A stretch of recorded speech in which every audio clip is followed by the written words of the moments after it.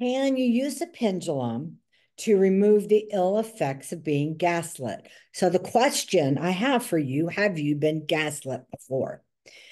Um, please comment in, in the section of comments because it helps us all to know if we've experienced this or not. And if so, have you tried to use the pendulum to remove the ill effects?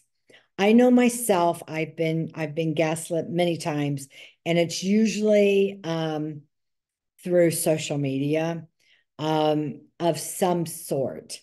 And I experience it more as an attached energy that is feeding that manipulation. Now, I am an intuitive and I visually see and I hear and I I have a real strong sense of knowing. So I know in the middle of the night if something or someone is trying to mess with my energy. Now, it doesn't happen hardly ever, but I'm aware of it. And I want to know if you have experienced being gaslit before. Please uh, reach out to me if you have.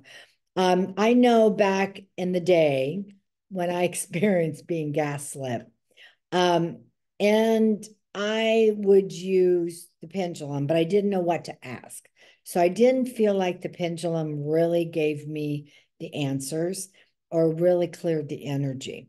But there was a lot going on. Now, if I have been gaslit um, for whatever reason, I will use the pendulum, but I don't just settle with the pendulum. There are other techniques that I highly recommend. So the pendulum is great for many, many things. So please, if you haven't had success, please share it. Thanks.